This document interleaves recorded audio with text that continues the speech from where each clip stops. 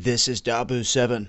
Want to share with you guys here this absolutely stunning view from the space station of the aurora borealis meeting the sunrise, and this is as it goes up the eastern seaboard of the United States.